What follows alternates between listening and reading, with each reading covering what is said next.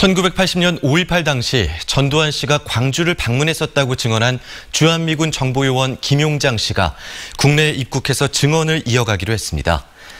5.18 기념재단의 초청으로 한국에 입국한 김 씨는 내일 서울에서 기자회견을 연 뒤 모레 광주로 이동해 5.18 민주묘지를 참배하고 광주 시민들 앞에서 증언하는 자리를 갖게 됩니다. 김 씨는 5.18 당시 전두환 씨의 행적과 관련해 추가로 증언할 예정인 것으로 알려졌습니다.